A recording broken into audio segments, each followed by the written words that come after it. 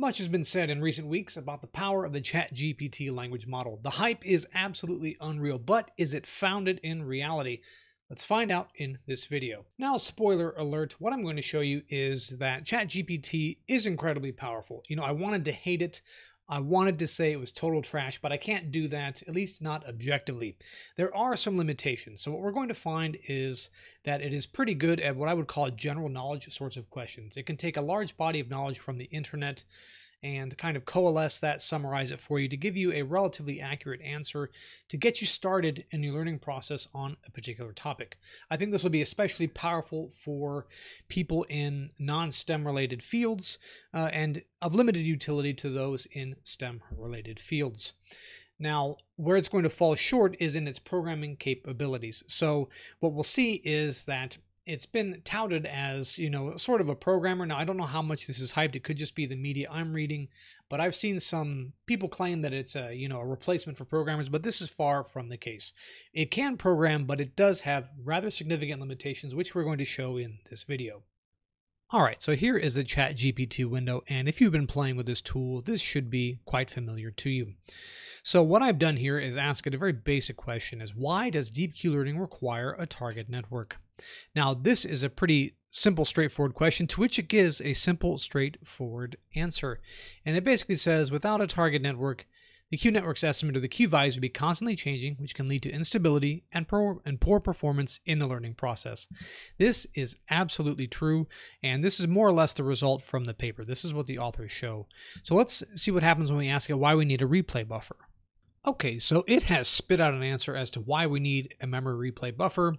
And the basic idea is that one is going to break correlation between consecutive samples, which improves the stability of the learning process. Now, of course, this is necessary for the inputs to a deep uh, neural network to be uncorrelated. That kind of goes without saying. And it says it allows the agent to learn from a wider range of experiences rather than just the most recent experiences which can lead to better performance. This is absolutely true, of course. We store all experiences, and so sampling them at random gives you a broad variety of experiences to draw from.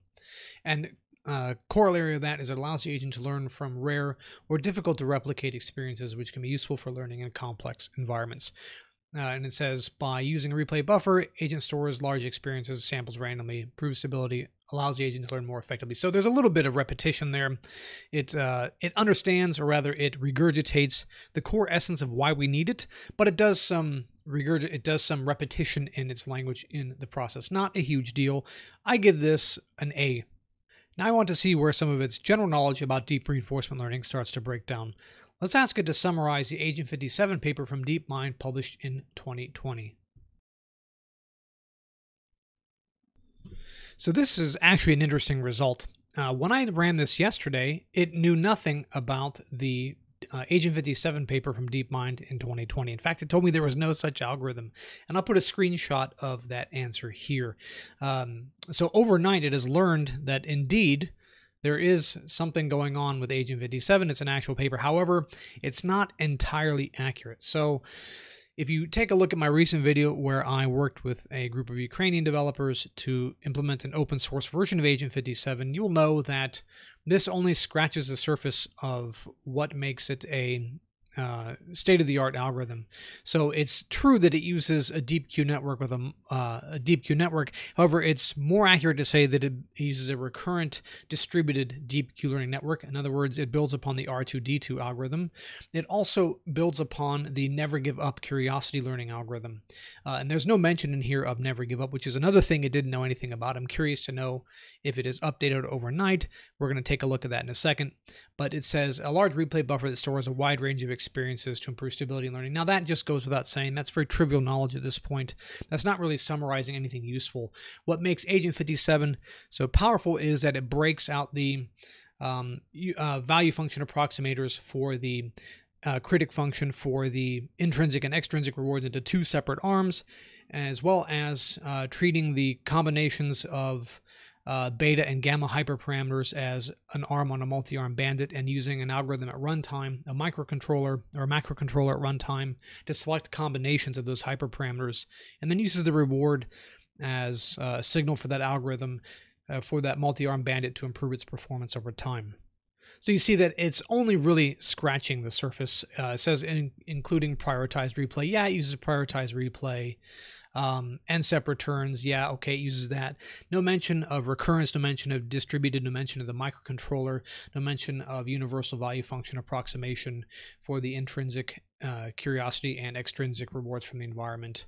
So it's very surface level and not really enough to get you started down the path of true learning. So this is a limitation, though it is a better answer than I received last night. Let's ask it about never give up and see what it tells us. Okay, so yesterday it had no idea what Never Give Up was, and that was probably a clue to the team that they need to uh, at least shore up its knowledge, give it some information about the paper. But again, it's not quite accurate. So it says that uh, NGU is proposed by DeepMind in 2020, correct? Designed to improve sample efficiency of RL agents by making them more resilient to catastrophic forgetting which is when an agent forgets previously acquired skills. This isn't entirely accurate. So Never Give Up works by dealing with the problem of uh, boredom in curiosity learning methods. So in curiosity, the agent is rewarded for exploring previously unseen states. However, over time, the agent will explore most of the state space and therefore those states will lose their novelty and the curiosity reward goes to zero. In other words, it gets bored. And so Never Give Up teaches the agent to never give up and to keep exploring those states uh, and to keep trying new state action combinations so that it can find the most optimal strategy over time. Then it goes on to say NGU is based on the idea of preserving previously acquired knowledge by creating a separate replay buffer for each task and using, a, and using an auxiliary network to predict the expected future performance of the agent on each task. I don't where I don't know where it's getting the idea of separate replay buffer for each task. So this isn't accurate. Uh, the agent keeps uh, the agent has a single replay buffer that it uses um, multiple different actors to fill up, uh, and then it does use an auxiliary network to generate the intrinsic return. So it measures the surprise of the agent by uh, using this feature mapping to make predictions about what state it thinks it will transition into given its action, and comparing that to the actual transition taken by the environment. And the delta between these two gives you this sort of reward for the agent, uh, an intrinsic reward that gives the agent a sense of curiosity. And then it says NGU is able to prevent the agent from getting stuck in poor local minima, which is common in RL. Does this by allowing the agent to return to previously learned tasks and by adjusting the learning rate to speed up learning on those tasks. I don't know where this comes from. Um, I'm actually curious where it's getting this information, but it's not. Maybe I had a stroke and totally don't remember the paper, but that's not at all what I remember being in the paper. You know, you could talk about using universal value function approximation to split out uh, the contribution to the total reward from the intrinsic and extrinsic rewards, allowing you to kind of, um, in fact, maybe that's what it's talking about. Um, I think that's kind of what it's getting at is between these two paragraphs is the idea of splitting out uh, the networks, uh, the contribution from the intrinsic and extrinsic rewards using universal value function approximation. That's possible. So I think it's just getting confused here. So if you were using this to summarize this, and I were, you know, in some alternate universe where I'm your professor and I'm giving you a test and I'm asking you to summarize a paper and you spit this out to me, you're going to fail because it's not correct. It doesn't demonstrate that you read the paper. And then it gives a summary of what it just said. Okay. So yeah, so I would I would again give this an F. It doesn't really seem to know what's going on between uh, going on with the Never Give Up and Agent 57 algorithm. So there is some some limitation to its knowledge. Okay, that's not such a huge deal. Let's see how it does in writing actual code. Now, it failed on this last night, so let's see how it does today. Perhaps it's improved overnight.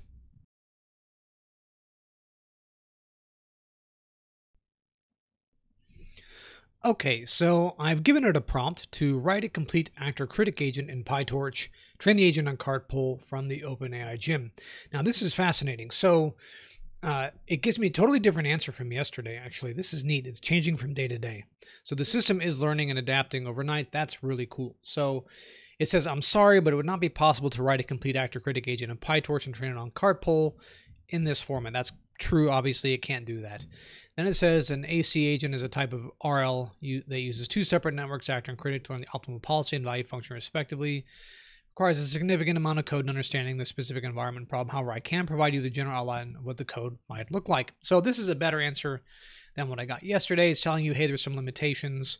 Um, I can't quite do it. Now, spoiler alert, it comes all the way down to the bottom and it craps out. But let's see what it came up with uh, before that. So the code I find is actually quite reasonable. So it knows that it needs to define separate classes for the actor. Uh, they need to derive from nn.module. Uh, one criticism I would levy here is that this doesn't uh, account for the possibility of using a GPU because there's no device selection and it doesn't send the network to the device. So there's no way to handle training on a GPU here. That's kind of a minor point. It does get the feed forward correct though. You pass the um, you pass the state through the first network, perform a ReLU activation, and then pass it to the second and get a softmax along the negative one dimension. That is correct. And then the critic is similarly also correct. It, and it also knows to call the superconstructor, which is a good thing. It doesn't work without that. Uh, yesterday's solution actually had a separate agent class, I believe, that had the actor and critic networks as well as the um, actor and critic optimizers, as well as an select action and update function looked more like a solution that I would write. This looks more like a solution like you would find in the actual documentation from um, the PyTorch uh, tutorial. So that's interesting. So we do have our actor and critic instantiated, actor and critic optimizers. These are done correctly. Critic loss function. It did get this correct today. Yesterday, it crapped out Humiliation. the actual environment, which I found incredibly ironic because the Obviously, the OpenAI Gym is an OpenAI product. I thought it was rather strange that it didn't know how to finish there, but whatever. And then it knows how to correctly set state and action dims, and then you know, uh, iterating over a number of episodes. So a number of episodes here is undefined. Uh, it does know to uh, reset the environment to get the episode reward, and doesn't define max steps. This also isn't how I would do it. I would iterate until the episode is done. Then it says to convert to a tensor, get your action probs, uh, get the multinomial and select the action. Okay, fine. Take your action, get your reward, convert your next step to a tensor, and then start calculating your critic loss. Okay, it's doing generally the right thing, but it stops right here at this line. I don't know. I don't think I'm missing anything here. I'm scrolling all the way down and nothing else comes up. So this thing is in fact crapping out on updating the critic. But I will give it credit.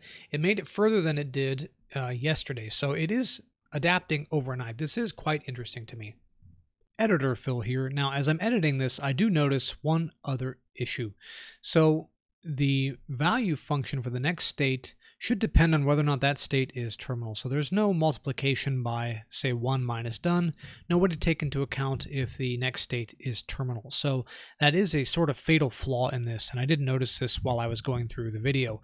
It will not work as it is currently written, even if it continues on to get fully functional code, because the next value depends on whether or not that state is terminal. Terminal states have a value of 0 now, forever, and always. That's simply by definition because the terminal state um, means that no future rewards follow, and so the discounted sum of those future rewards is precisely zero.